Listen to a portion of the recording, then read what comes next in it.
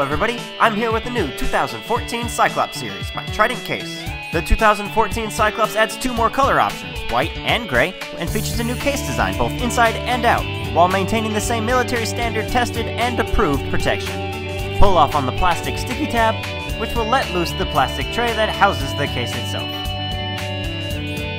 Separating the case layers can be done by pulling from the top left corner and then releasing the snaps along the sides.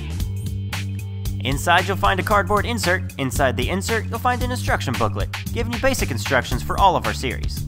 As long as you haven't managed to break anything yet, here's your next step. Drop the front plate onto the front of your phone, and slide the two of them together inside the back plate.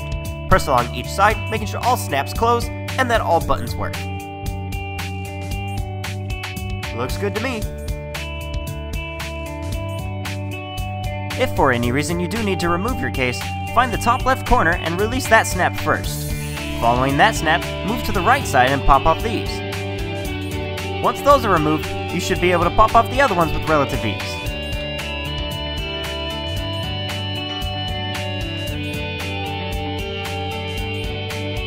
If you actually use the case for the crazy stuff that it was designed to resist, it's gonna get dirty.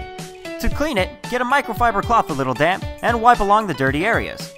You could also blow away any kind of dust particles or get a can of compressed air, like the ones they use to clean out the gaps between keyboard keys. Another option, of course, is to sweep it clean. I'm just kidding, stop sweeping your case! This has been an installation video for the new 2014 Cyclops series for smartphones by Trident Case. Thanks for watching.